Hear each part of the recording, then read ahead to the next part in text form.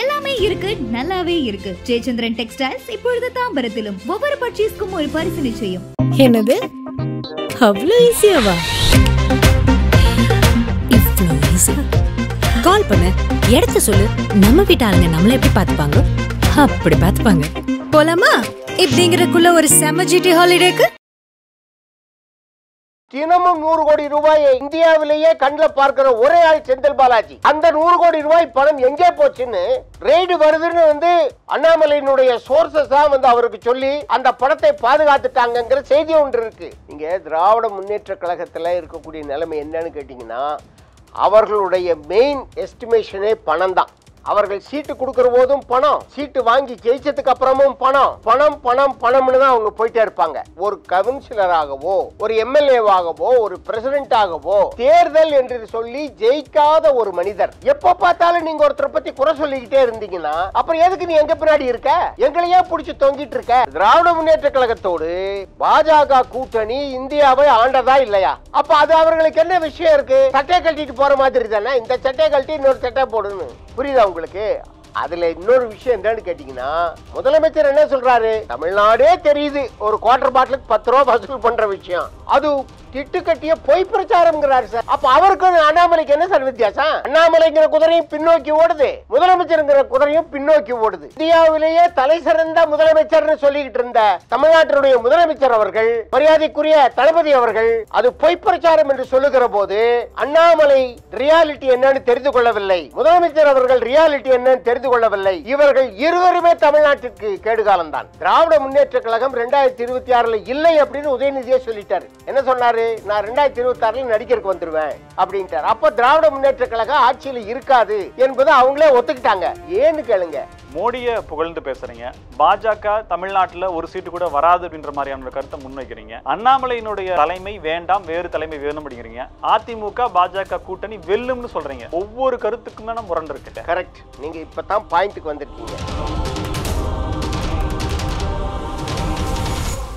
வணக்கம் yellow bench நேர்களே இன்று நம்முடைய நிகழ்ச்சியின் சிறப்பு விருந்தினர் மூத்த அரசியல் விமர்சகர் வழக்கறிஞர் கிருஷ்ணசாமி அவர்கள். வரவேற்று நிகழ்ச்சி தொடங்குவோம். சார் வணக்கம். வணக்கம். அதிமுகவினுடைய சொத்து அதிமுகவினுடைய புகழ் அதிமுகவினுடைய பெருமை புரட்சித் தலைவி ஜெயலலிதா அவங்களை விமர்சித்து அண்ணாமலை அவர்கள் பேசியிருக்கக்கூடியது அரசியல் களத்தில் மிகப்பெரிய பரவலாக பேசப்படுது. நிறைய முன்னாள் அமைச்சர்கள் நாடாளுமன்ற தற்போதைய நாடாளுமன்ற உறுப்பினர் கூட அதற்கு எதிர்ப்பு தெரிவித்து கண்டன அறிக்கை வெளியிட்டிருக்காங்க. அண்ணாமலையினுடைய அந்த ஆங்கில நாளிதழுக்கு கொடுக்கப்பட்ட பேட்டியினுடைய சாராம்சத்தை நீங்கள் எப்படி பார்க்குறீங்க? நீங்கள் தமிழ்நாட்டினுடைய ஒரு மிகப்பெரிய பெருமை ஜெயலலிதா அம்மா. அவர்கள் ஒரு தனி பெண்மணியாக இருந்து இந்திய நாட்டிற்கு என்ன உலக நாடுகளிலே இருக்கக்கூடியவர்கள் எல்லோருக்குமே தன்னுடைய ஆளுமை திறத்தாலே மிகப்பெரிய ஒரு புகழை இந்திய நாட்டிற்கும் தமிழ்நாட்டிற்கும் ஈட்டி தந்த ஒரு பெர்சனாலிட்டி நீங்கள் நேற்றைக்கு வந்த ஒரு பெர்சனாலிட்டி ஒரு ஐபிஎஸ் ஆஃபீஸர் பாரதிய ஜனதா கட்சியினுடைய இரண்டாண்டு கால தலைமை அவர்கள் மூன்றாண்டு காலத்திற்கு மேல் நீட்டிக்க முடியாத ஒரு பொம்மை தலைமை மரியாதைக்குரிய அம்மா அவர்களை பற்றியோ அவருடைய ஆளுமை திறமையை பற்றியும் அவர் அந்த குன்ஹா அவர்கள் நீதிபதி அவர்கள் கொடுத்த ஜட்ஜ்மெண்ட்டை படிக்காமையே ஒரு தவறான வார்த்தையை சொல்லி அவர் சொல்லியிருக்கிறார். காரணம் என்னன்னு கேட்டிங்கன்னா அந்த ஜட்ஜ்மெண்ட்டில் அம்மாவோடு இருந்தவர்களுக்கு ஊழல் செய்வதற்கு உதவிகரமாக இருந்த ஒரு குழுவுடன் பார்ட்னர்னு தான் சொல்லியிருக்காங்க அவங்க. அவர்களுக்கு உதவிகரமாக இருந்த கூட்டு உழவா ஊழல் செய்தார்கள் அப்படின்னு தான் சொல்லியிருக்காங்களே தவிர அம்மா ஊழல் செய்தார்கள்னு எந்த இடத்துலையுமே இல்லை. அப்படி அதை கூட படிக்க முடியாத ஒரு கூட்டணி கட்சியினுடைய தலைவராக மரியாதைக்குரிய அண்ணாமலை அவர்கள் வந்திருக்கிறார் என்று சொன்னால் தான் இன்னும் அவங்க கட்சியிலேயே ஒரு விளக்கம் சொல்கிறாங்க இன்னும் அவர் வந்து போலீஸ் அதிகாரியை தான் நடத்துக்கிறாரு அப்படிங்கிறாங்க நீங்கள் ஐபிஎஸ் ஆஃபீஸருங்கிற பிளட்டு அவருடைய உடம்புல ஓடினாலும் கூட மக்கள் நலம் என்று பார்க்கிற போது அதையெல்லாம் தூக்கி விலக்கி வச்சுட்டு ஒரு சாதாரண தொண்டனாக வந்து அவர் இருக்கணும்.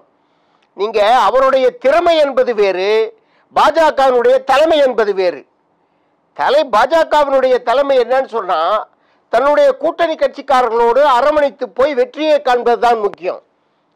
அங்கே சி. வி. சண்முகம் அண்ணன் அவர்கள் இன்றைக்கு ஒரு பேட்டியில் சொல்லியிருக்கார். டெல்லியிலே நடந்த கூட்டத்தில் மோடியினுடைய விருப்பம் அண்ணா திராவிட முன்னேற்ற கழகத்தோடு கூட்டணி வைத்துக் கொள்ள வேண்டும் என்று இரண்டு முறை அமித்ஷா சொன்னதாக சொல்றார். அமித்ஷா வந்து என்ன சொல்லிட்டு போறார் நேத்து?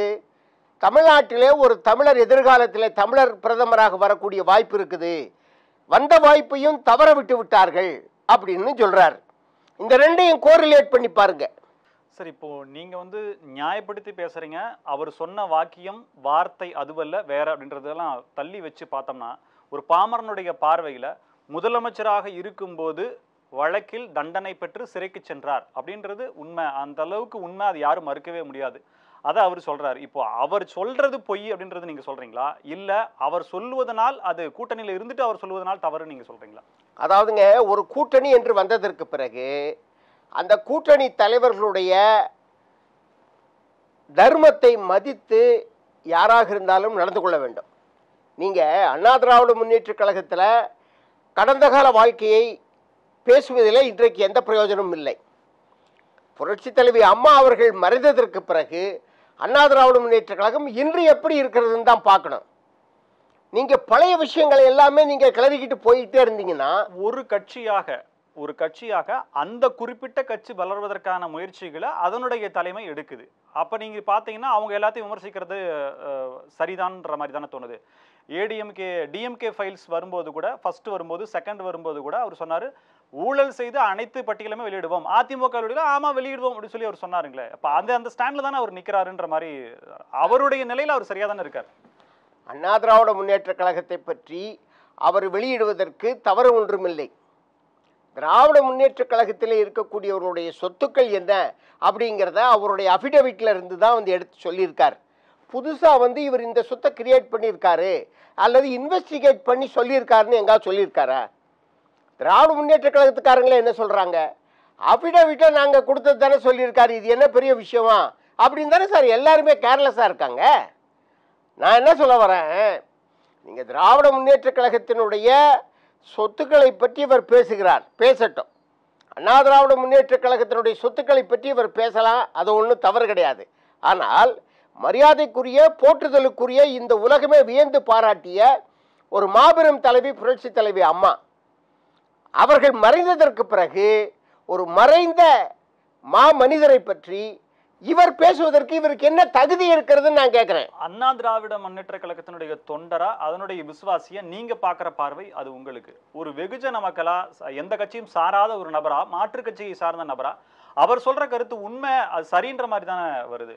சார் மாற்று கருத்து உடையவர்கள் சாதாரண தொண்டர்கள் கிராமத்தில் நடந்து போகிறவங்க நீ யாருக்கிட்ட மைக்க போட்டு கேட்டாலும் அதை தான் சொல்லுவான். அம்மா இன்றைக்கு இல்லை. அம்மாவை பற்றி நீ ஏன் பேசுகிற நீ யாருன்னு ப்ரூவ் பண்ணியிருக்கியா கேட்குறானா இல்லையா? நீ யாருன்னு ப்ரூவ் பண்ணியிருக்கியா ஒரு தேசிய கட்சியினுடைய மாநில தலைவரை கூட மாற்றுவதற்காகவோ அல்லது அவர் தடுக்கும் அவர் கொடுக்கும் இடைஞ்சல்களை தாங்குவதற்கான சக்தி கூட அதிமுகவுக்கு இல்லையோ அப்படின்ற பார்வை வருது இல்லையா? சார் நீங்கள் பாருங்க. குற்றம் பார்க்கின் சுற்றம் இல்லை சார். அதை கற்காத ஒரு மனிதராகத்தான் அவரை நான் பார்க்கிறேன். நீங்கள் எல்லாத்தோடையும் குற்றம் பார்த்துக்கிட்டே இருந்தீங்கன்னு வச்சுக்கோங்க. ஒரு பையன் பின்னாடி இருக்க மாட்டான். அதுதானே அதிமுக பாஜக இருந்தவங்க பல பேர் வந்து அதிமுகவில் ஜாயின் பண்ணிட்டாங்க. நீங்கள் கூட்டணி கட்சியில் கூட்டணி தர்மம் என்று ஒன்று இருக்கிறது. அதுதான் மரியாதைக்குரிய சி வி சண்முகம் ஒன்று சொன்னார். ஒரு கவுன்சிலராகவோ ஒரு எம்எல்ஏவாகவோ ஒரு பிரசிடெண்ட்டாகவோ தேர்தல் என்று சொல்லி ஜெயிக்காத ஒரு மனிதர். நீங்க அந்த வாழ்க்கை வேறீங்க இந்த வாழ்க்கை வேறீங்க. எப்போ பார்த்தாலும் நீங்க ஒருத்தரை பத்தி குறை சொல்லிக்கிட்டே இருந்தீங்கன்னா அப்புறம் எதுக்கு நீ எங்க பின்னாடி இருக்க? எங்களையே பிடிச்சி தொங்கிட்டு இருக்க? அப்படின்னு. கேக்குறாரா இல்லையா? இதே கேள்விதான் மற்றவர்களுடைய கேள்வியாகவும் இருக்கு. இவ்வளவு இழிவா பேசக்கூடிய பாஜகவினுடைய தலைவர் அண்ணாமலையோட பாஜகவோட ஏன் அதிமுக கூட்டணியில் இருக்கிறது உதறி தள்ள வேண்டியதானன்ற கேள்வி வைக்கிறாங்க. அதுதான் சார் நீங்க இன்றைக்கு ஜெயக்குமார் நாகரிகமா சொல்லிட்டார். அமைச்சர் முன்னாள் அமைச்சர் ஜெயக்குமார் என்ன சொல்லிட்டாரு? எங்களுடைய முடிவை நாங்கள் மறுபரிசீலனை செய்ய வேண்டும் அப்படின்னு சொல்லிட்டார். மரியாதைக்குரிய அமித்ஷா அவர்கள் வந்து என்ன சொல்லிட்டு போனாங்க என்னுடைய தம்பியை போன்றவர் அண்ணாமலை என்று சொல்லிட்டு போயிட்டார். நம்மளே அவருடைய தம்பியா மாறிட்டோம். இனி யாரை வேணாலும் கேள்வி கேட்கலான்னு இவர் கேள்வி கேட்டுக்கிட்டே போயிட்டு இருந்தா அதுல கேள்வி கேட்பதற்கான நீங்க அம்மா ஊழல் செய்தார்கள் என்பதற்கான ஆதாரம் இவர்கிட்ட இருக்கா? இந்த இடத்துல தான் சார் முரண் இருக்கு. பாஜகவினுடைய தலைமை அதிமுகவோடு கூட்டணி தான். அதிமுக தான் தலைமை இருக்குன்ற மாதிரி சொல்றாங்க. அண்ணாமலை பேசக்கூடிய எந்த ஒரு விஷயத்தையுமே தலைமை பாஜக தலைமை கண்டனம் தெரிவித்தோ நீங்க அமைதியா இருங்கன்ற மாதிரியான ஒரு கண்டிப்போ இல்லை அப்படின்ற போது தலைமையும் இவர் பேசுவதை ஆதரிக்கிறது பின்புலமாக இருந்து ஊக்குவிக்கிறது இந்த பார்வை ஏன் வைக்கக்கூடாது? இதுவரைக்கும் அவர்களுடைய தலைமை வந்து பின்புலமாக இருந்து ஊக்குவித்தார்கள். பெங்களூர் கர்நாடகா தேர்தலில் வந்து இவருக்கு கொடுக்கப்பட்ட தொகுதிகளில் மிகப்பெரிய வெற்றி அவர் உண்டாக்கி காட்டல. அங்கே இருந்த பாஜக வெற்றி கூட ப- படுபாதாளத்திற்கு போய்விட்டது. அவர்கள் வந்து மிக அதிகமான மெஜாரிட்டியில் பதினெட்டு உறுப்பினர்களுடைய அதிக மெஜாரிட்டியில் இவர்கள் விலைக்கு வாங்க முடியாத அளவுக்கு பாஜக தோற்றிருக்கிறது. அந்த காரணத்தினால இனிமேல் அவருடைய ஒரு மரியாதை என்பது நீங்கள் எதிர்பார்க்கிற மாதிரி இருக்காது. இப்போ அதே கதையை மறுபடியும் தனித்து நின்றால் என்ன? நாம் எத்தனை இடத்துல வருவோம்? எவ்வளவு சதவிகித வாக்குகள் பெறும்? ஏன்னா சட்டமன்ற தேர்தல் போல இல்லை நாடாளுமன்ற தேர்தல். இதில் ஒரு தொகுதியில் வெற்றி பெறும்னால எவ்வளவு வாக்குகள் வாங்கணும் அப்படின்றது உங்களுக்கே தெரியும். இந்த அளவிற்கான பிரச்சனைகள் இருக்கும்போது அதிமுக ஸ்ட்ராங்காக இல்லாத போது கூடுதல் பலத்துக்காக பாஜகவை தூக்கி கொண்டு அதனுடைய கூட்டணியில் இருக்கிறது அப்படின்ற கருத்து தான் நிலவுது. நீங்கள் ரெகுலராக வந்து இப்போ என்னென்னா அதிமுக ஏன் வந்து பாஜகவை வந்து ஒரு தொங்கு சதையாக வச்சுக்கிட்டு உட்காந்துருக்கு எக்ஸ்ட்ரா ஃபிங்கராக ஏன் வச்சுக்கிட்டு இருக்கீங்க அப்படின்னு வந்து பல பேர் கேட்குறாங்க நீங்கள் அண்ணா திராவிட முன்னேற்றக் கழகத்துக்கு வந்து அண்ணா திராவிட க- முன்னேற்றக் கழகம் வந்து ஒரு பிளவை நோக்கி பயணித்த போது அந்த பிளவு அம்மாவுக்காக கூடாது என்கின்ற ஒரு நல்வழி காட்டிய கட்சி பாஜக. பாஜகனுடைய டெல்லி தலைமை அந்த நல்வழி காட்டியது ஓபிஎஸ்சியும் இபிஎஸ்சியும் வந்து சேர்த்து விட்டது. ஆனால் சட்டத்தினுடைய பார்வையிலே ஓபிஎஸ்னுடைய பங்கு சரியில்லை என்கின்ற காரணத்தினாலே சட்டப்படி அவர் அண்ணா திராவிட முன்னேற்ற கழகத்திற்கு வர முடியாது என்கின்ற காரணத்தினாலே சட்டம் அதன் வேலையை செய்துவிட்டது. ஆனால் இன்றைக்கு இருக்கக்கூடிய சூழ்நிலையில் நீங்கள் பார்த்தீர்களே ஆனால் அண்ணா திராவிட முன்னேற்றக் கழகம் எடப்பாடியாருடைய நாலரை ஆண்டு கால ஆட்சியே பெட்டர் என்று சொல்லக்கூடிய அளவுக்கு மக்கள் மனோநிலை இன்றைக்கு வந்துவிட்டது.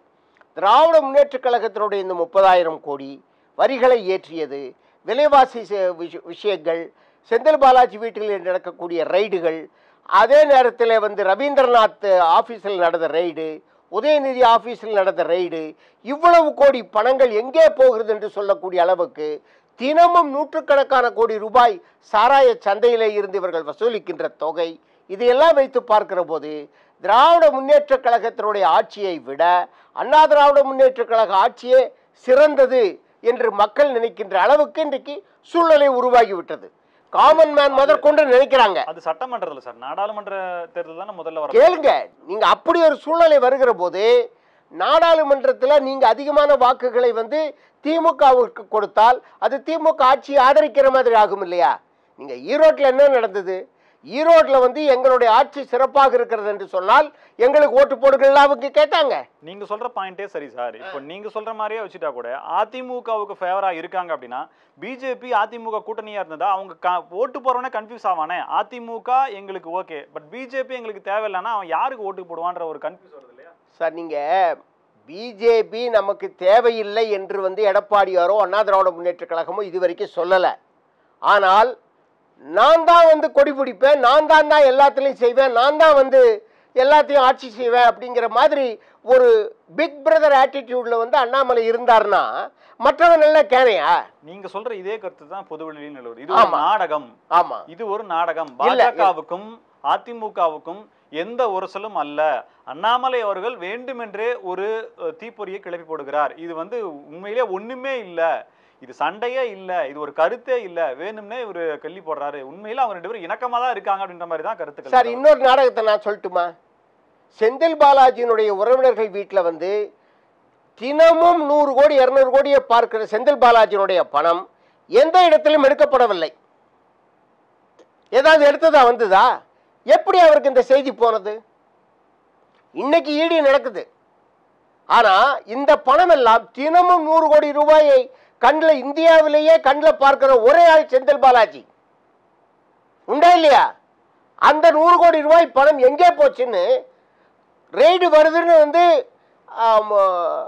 அண்ணாமலையினுடைய சோர்சஸ் தான் வந்து அவருக்கு சொல்லி அந்த பணத்தை பாதுகாத்துட்டாங்கங்கிற செய்தி ஒன்று இருக்கு.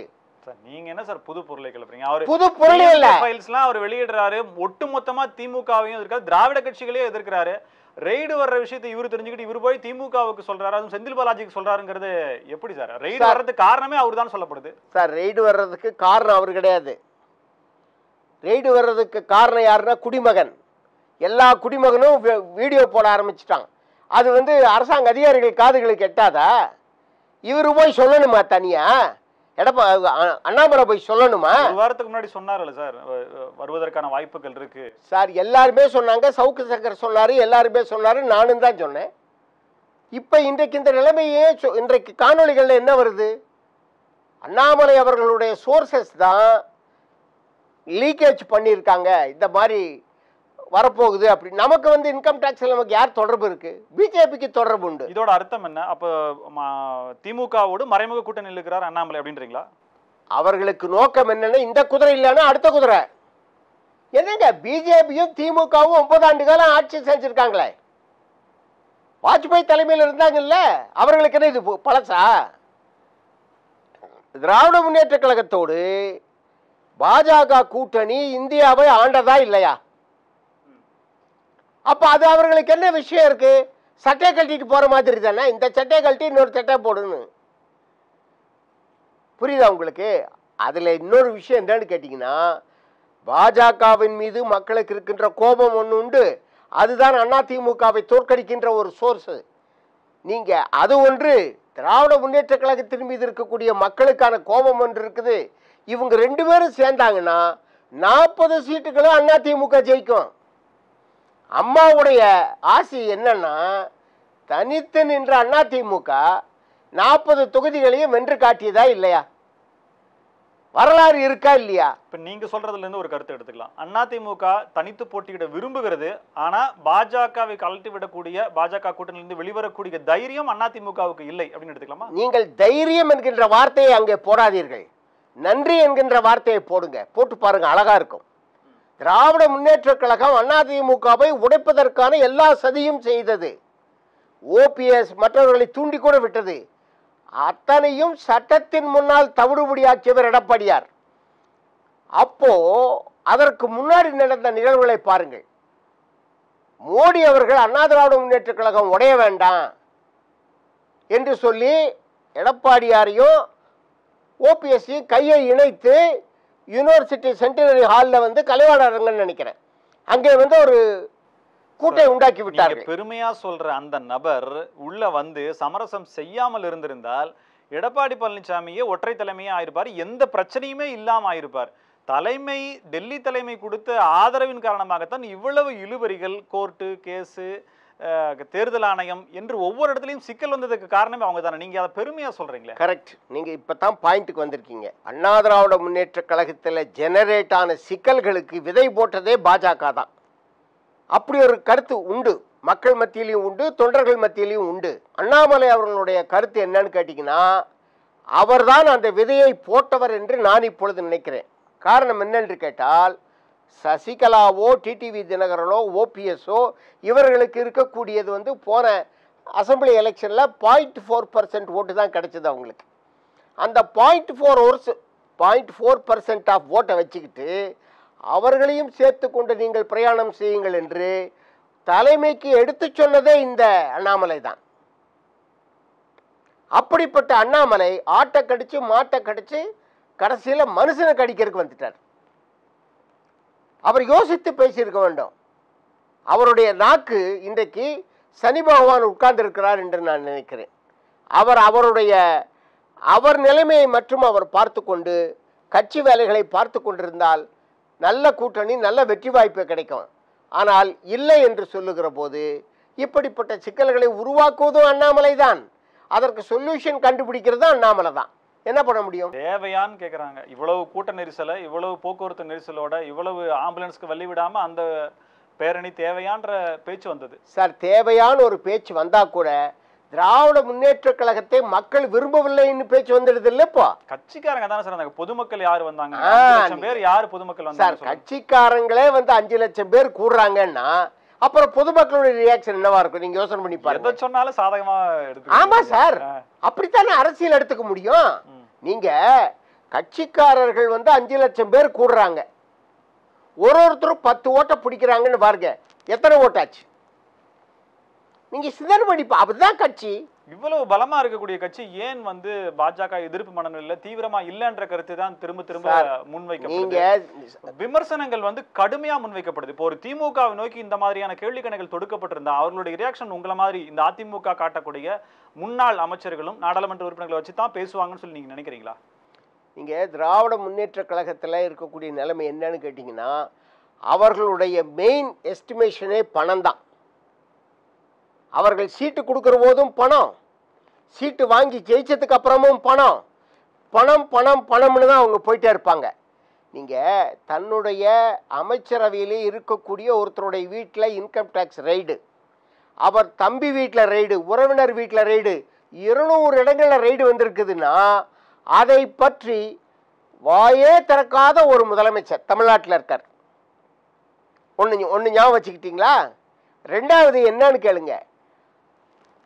துபாய் போயிட்டு திரும்பி வரும்போது ஒரு அமைச்சருடைய ஆஃபீஸில் வந்து ரெய்டு நடத்தி அவங்க பணத்தை எடுத்துகிட்டு போயிட்டாங்க அப்படிங்கிற நிலைமை தெரிஞ்ச உடனே துபாயிலிருந்தே ஆர்டர் ரெடி பண்ண சொல்லிட்டு வந்த உடனே கையெழுத்து போட்டு கண்ணப்பரை நீங்கள் மாற்றுனீங்கல்ல அமைச்சர் கண்ணப்பரை மாற்றுறீங்க அதே நேரத்தில் நீங்கள் என்ன பண்ணீங்க? முப்பதாயிரம் கோடி ரூபாய் கலெக்ட் பண்ணி வச்சுக்கிட்டு கள்ளச்சாராயம் விற்பனை சாராய கடையில் பத்து ரூபாய்க்கு வாங்கக்கூடிய விற்பனை இவ்வளவையும் சுரண்டி கோடிக்கணக்கில் பணத்தை நீங்கள் வச்சுக்கிட்டு இருக்கிற போது இவ்வளவு பெரிய ரெய்டு நடத்தியிருக்கிற போது நீங்கள் இந்த இரண்டு அமைச்சர்களையும் நீங்கள் நீக்கியிருக்க வேண்டாமா? ஏன் நீக்க மாட்டாங்கிறீங்க? அதை கேட்க மாட்டாங்கிறீங்க யாரும்? இலாக்கா மாத்தினது மட்டும் போதுமா? அட்மினிஸ்ட்ரேஷன்ல ஒரு பழமொழி உண்டு. ஒரு மூத்த அமைச்சர் பாரம்பரிய திராவிட பாரம்பரியம் கொண்ட குடும்ப பாரம்பரியம் கொண்ட பின்னணி கொண்ட ஒரு அமைச்சர். அவர் எப்படி கட்சியிலிருந்து எப்படி பொறுப்புல இருந்து எப்படி நீக்க முடியும்? சார் திராவிட பாரம்பரியம் இருக்கிறதுனால தான் அவர் அந்த வார்த்தை சொல்லியிருக்காரு. முப்பதாயிரம் கோடி ரூபாய் இங்கே காணாம இவ எங்க பதுக்கிறதுன்னு தெரியாம முழிக்கிறாங்கப்பா அந்த பணத்தை வந்து என்ன பண்ணலான்னு நினைக்கிறாங்க அப்படின்னு அவர் சொன்னது. இல்லைன்னு அவர் மறுத்துட்டார். சார் அவர் சொல்லவே இல்லைன்னா என்கொயரி வைக்க வேண்டியதுதான் நீங்க? இந்தியாவில் எவ்வளவோ என்கொயரி நடந்திருக்கு. இது சர்க்கரை ஊழல் மாதிரி தானே இருக்குது சர்க்கரை என்னாச்சு? எறும்பு தின்னு போட்டுது. மூட்டை என்னாச்சு? கரையான் தின்னு போட்டுது. ஏங்க இது கேட்குற அதனால தான் அண்ணா திராவிட முன்னேற்ற கழகம் வெற்றி பெற்றதே. நீங்கள் அண்ணா திராவிட முன்னேற்ற கழகம் வெற்றி பெறுவதற்கான காரணங்களையும் வாய்ப்புகளையும் தேடி தேடி மரியாதைக்குரிய முதலமைச்சர் கொடுத்துக்கிட்டு இருக்காரே. ஒரு எதிர்க்கட்சியாக வீரியத்தோட அதிமுக செயல்படலை. ஏன் அப்படின்னா அதிமுக ஒரு நிலையாக ஒரு ஸ்திரத்தன்மையோட இல்லை அப்படிங்கிறது தான் தெளிவாக தெரியுது. இப்போ என்னன்னா இப்படி எதிர்க்கக்கூடிய எதிரியினுடைய பலத்தை பலவீனப்படுத்துவதற்கான திமுகவினுடைய முயற்சிகளினுடையும் திமுகவினுடைய சூழ்ச்சிகளும் தான் இது அப்படின்னு நீங்கள் பார்க்குறீங்களா நீங்கள் எதிர்க்கட்சிகளுடைய சூழ்ச்சிகள் என்பது ஒரு விதத்தில் இருக்கலாம். ஏன்னா அண்ணா திராவிட முன்னேற்ற கழகம் வீரியமாக செயல்படக்கூடாது என்ற ஒரு கருத்தை வந்து திமுக வச்சுக்கிட்டு இருக்கலாம். ஆனால் திமுகவினுடைய நடவடிக்கைகள் மக்களை வந்து சூடேற்றுகிறதே.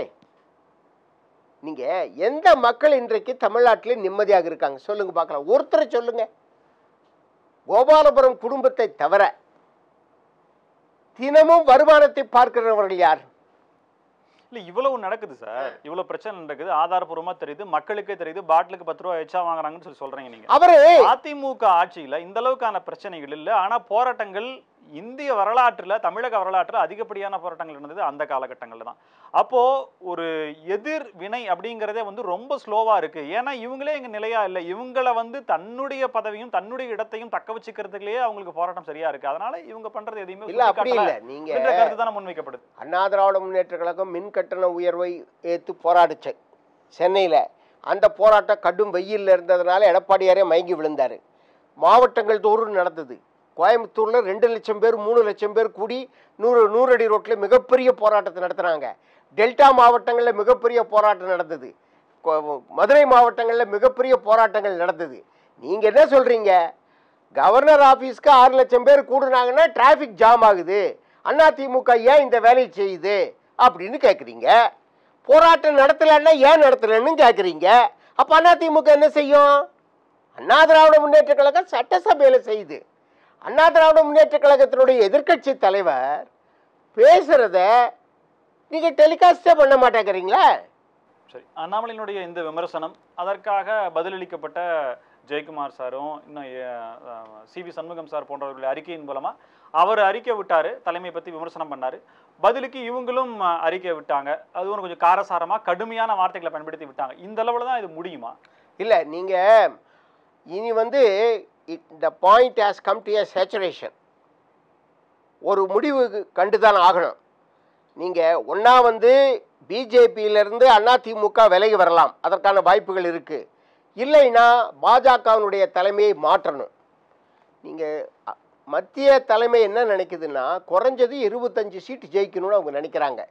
அப்போ அவங்களுக்கு இருபத்தஞ்சி சீட்டு வந்து ஷார்ட்டேஜ் அவர்களுடைய கணக்குப்படி மற்ற மாநிலங்களில் முந்நூற்றி மூணை ரீச் பண்ணுமா? முந்நூற்றி முப்பது வரணும் அப்படிங்கிறது இவங்களுடைய எண்ணம். ஆக ஜெயிக்கக்கூடிய குதிரையினுடைய வாரை அறுத்து விட்டு ஓட வைக்கிறாரு அண்ணாமலை. அவங்க என்ன சொல்கிறாங்க ஜெயிக்கக்கூடிய குதிரையை தட்டி கொடுத்து ஓட்டியான்னு சொல்கிறாங்க இல்லை இல்லை நான் வந்து ஜெயிக்க ஓடக்கூடிய குதிரையினுடைய வாலை கட் பண்ணித்தான் நான் ஓட்ட விடுவேன். அது வாலை கட் பண்ணிட்டா படுத்துக்கும். அந்த தைரியம் எப்படி அவருக்கு வருகிறதா? ஒரு மாநில தலைமைக்கு ஒரு மாநில கட்சியினுடைய வாளை க- க- க- அறுக்கிற வரைக்கான தைரியம் எப்படி வந்ததுன்றதான கேள்வி வருது. அவருக்கு அந்த தைரியத்தை கொடுத்திருப்பது அவருடைய கெட்ட நேரம். அவருடைய கெட்ட நேரம். ரெண்டாவது மோடியின் மீது அவருக்கு உண்மையிலேயே பற்று இருக்குமானால் அவருடைய நடவடிக்கையிலே வேற மாதிரியா இருந்திருக்கும். மோடியின் மீது பற்று இருப்பது போன்று நடிக்கிற ஒரு மகா நடிகனைத்தான் பாஜக இன்றைக்கு தலைமையாக வைத்திருக்கிறது. புரியுதா உங்களுக்கு? ஆக முதலமைச்சர் என்ன சொல்றாரு? நீங்க சொன்ன மாதிரி தமிழ்நாடே தெரியுது ஒரு குவார்டர் பாட்டிலுக்கு பத்து ரூபா வசூல் பண்ற விஷயம். அது திட்டு கட்டிய பொய் பிரச்சாரம்ங்கிறாரு சார் நேற்று சேலத்தில். அப்ப அவருக்கு அண்ணாமலைக்கு என்ன சார் வித்தியாசம்? வெற்றி வாய்ப்பை தேடி ஓட வேண்டிய குதிரைகள் பின்னோக்கி ஓடுது ரெண்டு குதிரையுமே. அண்ணாமலைங்கிற குதிரையும் பின்னோக்கி ஓடுது. முதலமைச்சருங்கிற குதிரையும் பின்னோக்கி ஓடுது. ஒரு ஒரு மனிதனுக்கும் தெரியுது. ஒரு நாளைக்கு ரெண்டு கோடி குவார்டர் பாட்டில் விற்கிது பத்து ரூபா வாங்குறாங்கன்னு சொல்லி சொன்னால் எத்தனை? இருபது கோ- கோடி ரூபாய் ஆச்சு. அதில் அஞ்சு ரூபாய். அப்போ பத்து ரூபா இருக்கு. அஞ்சு ரூபாய் வந்து அவங்க தொழிலாளர்கள் எடுத்துக்கிறாங்க. அஞ்சு ரூபா வந்து செந்தில் பாலாஜிக்கு போகுது. அப்போ பத்து கோடி ரூபாய் திரும்ப கலெக்ட் ஆகுது. குவார்டர் பாட்டிலில் மக்கள் என்ன நினைக்கிறான் இது பிஸ்கோத்து குவார்டர் பாட்டிலா பத்து ரூபா போனால் போது போடான்னு தூக்கி வீசிட்டு தான் போகிறான் குடிக்காரன் ஆனால் சேருகிற தொகை எத்தனை? பத்து கோடி ரூபாய் ஒரு நாளைக்கு. அந்த பத்து கோடி ரூபாயை வந்து எதிர்க்கட்சிகள் பொய் பிரச்சாரம் செய்கிறது என்று தமிழா இந்தியாவிலேயே தலை சிறந்த முதலமைச்சர்னு சொல்லிக்கிட்டு இருந்த தமிழ்நாட்டினுடைய முதலமைச்சர் அவர்கள் மரியாதைக்குரிய தளபதி அவர்கள் அது பொய் பிரச்சாரம் என்று சொல்லுகிற போது அண்ணாமலை ரியாலிட்டி என்னன்னு தெரிந்து கொள்ளவில்லை. முதலமைச்சர் அவர்கள் ரியாலிட்டி என்னன்னு தெரிந்து கொள்ளவில்லை. இவர்கள் இருவருமே தமிழ்நாட்டிற்கு கேடுகாலம்தான். அண்ணாமலையை இனி வரும் காலங்களில் எப்படி எதிர்கொள்ள போகிறது அதிமுக? இப்போ அண்ணாமலை மாற்றுவதற்கான அழுத்தத்தை மட்டும்தான் அதிமுக கொடுக்குது. ஆனால் மாற்றுவதற்கான அதிகாரம் அதிமுக கிட்ட இல்லை. டெல்லி தலைமை அண்ணாமலை வேணும்னு நினச்சதுன்னா அதிமுகவினுடைய நிலை என்னவாக இருக்கும்? பாஜகவிலிருந்து வெளிவருவதற்கான முயற்சிகளை எடுக்கும்னு நினைக்கிறீங்களா? சார் நீங்கள் அண்ணாமலை தலையில் பெரிய பனங்காயை கொண்டு வச்சுட்டாங்க சார். நீங்கள் அவருக்கு வந்து அனுபவம் போதாது.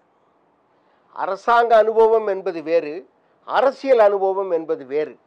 நீங்கள் அண்ணாமலையினுடைய அனுபவங்களை அவர்கள் வேறு வழியில் பயன்படுத்திக் கொள்வார்கள். அவர் அண்ணாமலையை வந்து மோடிஜிக்கு வேணும் அப்படின்னா நீங்கள் அவர் வந்து வேறு வழியில் பயன்படுத்திக்கலாம். கவர்னர் ஆக்கிடுவாங்கன்றீங்களா கவர்னர் ஆக்குறாங்களோ அல்லது வந்து டிப்டி கவர்னர் ஆக்குறாங்களோ அல்லது வேற ஏதோ கொடுக்குறாங்க. அது நமக்கு தேவையில்லாத ஒரு விஷயம். தமிழ்நாட்டு மக்களுடைய நலனை கருதி நாம் அமைதியாக இருந்து நாற்பது சீட்டையும் வென்று மோடி அவர்களுக்கு ஆதரவாக நாம் இருக்க வேண்டும் என்று அவர் நினைத்திருந்தாரே ஆனால் இப்படிப்பட்ட வார்த்தைகள் அவர் வாயில் வந்திருக்காது. ஆனா அவர் ரெண்டாயிரத்தி இருபத்தி ஆறுல முதலமைச்சர் வேட்பாளர்ன்ற ஒரு கருத்து நிலவு. சார் இரண்டாயிரத்தி இருபத்தாறில் முதலமைச்சர் யார் என்பதை தீர்மானிக்க வேண்டியது தமிழ்நாட்டு மக்கள். நீங்கள் திராவிட முன்னேற்றக் கழகம் ரெண்டாயிரத்தி இருபத்தி ஆறில் இல்லை அப்படின்னு உதயநிதியே சொல்லிட்டாரு. என்ன சொன்னார்? நான் ரெண்டாயிரத்தி இருபத்தாறில் நடிகருக்கு வந்துடுவேன் அப்படின்ட்டார். அப்போ திராவிட முன்னேற்றக் கழகம் ஆட்சியில் இருக்காது என்பதை அவங்களே ஒத்துக்கிட்டாங்க. ஏன்னு கேளுங்க அவர்களுடைய நடவடிக்கைகள் வந்து அவர்களை தீர்மானிக்கும். பிஜேபியினுடைய நடவடிக்கைகள் வந்து நடவடிக்கைகளின் காரணமாக அதிமுக நீங்கள் கூட்டு சேராதீங்க அப்படின்னு தான் இஸ்லாமிய சகோதரன் சொல்கிறான் கிறிஸ்துவ சகோதரன் சொல்கிறான் நமக்கு பிஜேபி வேண்டாம் என்று சொல்கிறார்கள். நீங்கள் அவங்க இல்லாமல் வாங்க நாங்கள் ஓட்டு போடுறோம் அப்படிங்கிறாங்க. ஆக இன்றைக்கு அந்த நிலைமையை உருவாக்கி விட்டது யார்?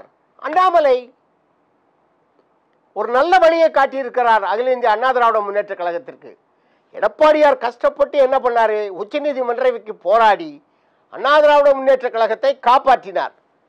காப்பாற்றிய பிறகு அண்ணா திராவிட முன்னேற்ற கழகத்தினுடைய தொண்டர்களை கையிலே கொடுத்து விட்டார். நீ பார் நீதான் கட்சி கட்சி. கட்சியில் இருக்கக்கூடிய தொண்டன் தான் எனக்கு உயிர் என்று சொல்லக்கூடிய எடப்பாடியார். இன்றைக்கு அந்த உயிரை கொள்வதற்காக இப்படி விஷத்தை அள்ளி வீசுகிற அண்ணாமலை அண்ணா திராவிட முன்னேற்ற கழகத்திற்கு தேவையா?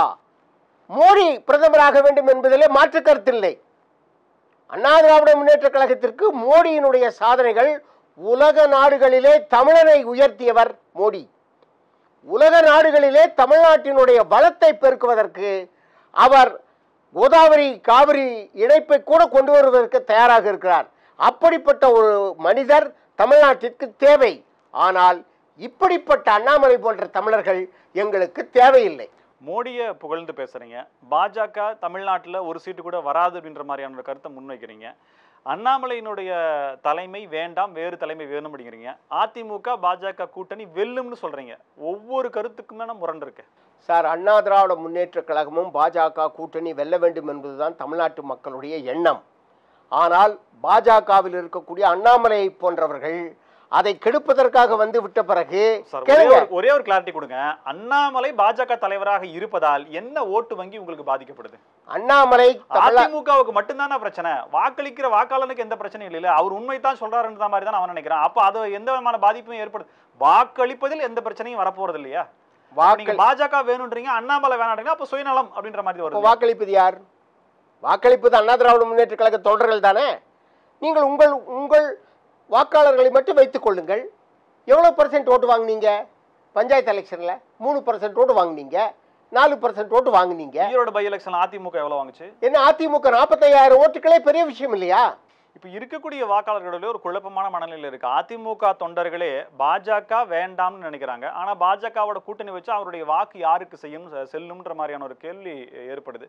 அதற்கு ஒரு காங்கிரீட் ரீசன் அதிமுகவினுடைய வாக்குகளை ஒருங்கிணைப்பதற்கான முயற்சிகளை கூட அதிமுக தலைமை ஒரு தீர்க்கமா எடுக்கலையன்ற பார்வை வையுது. சார் அண்ணா திராவிட முன்னேற்ற கழகம் அவருடைய கூட்டணியில் நிற்கும் பாஜக அவர்கள் ஒரு தனி கூட்டணி வைத்துக் கொள்வார்கள் வைத்துக் கொள்ளட்டும். திமுக தனி கூட்டணி வைத்துக் கொள்ளட்டும். யார் வெற்றி பெறுகிறார்கள் என்பது மக்களை பொறுத்த விஷயம். அண்ணா திராவிட முன்னேற்ற கழகம் வெற்றி பெற்றால் நிச்சயமாக மோடியினுடைய அரசாங்கம் அமைவதற்கு பாடுபடும். பாஜகவுக்கு இந்த நாடாளுமன்ற தேர்தலுடைய வெற்றி மிக மிக மிக முக்கியம். மோடி பிரதமராக தொடர்வதற்கோ அல்லது வேறு யாராவது பாஜகவை சார்ந்தவர்கள் பிரதமராகுவதற்காக இந்த வெற்றி அப்படிங்கிறது பாஜகவுக்கு மிக மிக முக்கியம். இது அப்படியே இன்னொரு விதமா அதிமுகவுக்கு இந்த நாடாளுமன்ற தேர்தலில் வெற்றி முக்கியமா அப்படின்ற கேள்வி வச்சா நிச்சயமா அதுக்கு ஒரு பெருந்தன்மையான பதில் இருந்ததுன்னா தேவையில்லைன்னு கூட சொல்லலாம். அதாவது வெற்றி தேவை ஆனால் பிரதமரை இவர்கள் ஆக போவதில்லை பிரதமரை தேர்ந்தெடுக்கக்கூடிய அதிகாரம் அதிகபட்சமாகவே நாற்பது சீட்டு தான். நாற்பது வென்றாலுமே நாற்பது ஒரு ஒரு வலுவான கட்சியாக இருக்கலாம். அதை தாண்டி அதிமுகவுக்கான ஆதரவு அப்படிங்கிறது எந்த அளவுக்கு இருக்குன்றனால பாஜகவினுடைய ஆதரவு அதை ஏன் இவ்வளோ தூரம் இழுத்து பிடிக்கணுன்ற காரணம் வருது இல்லையா?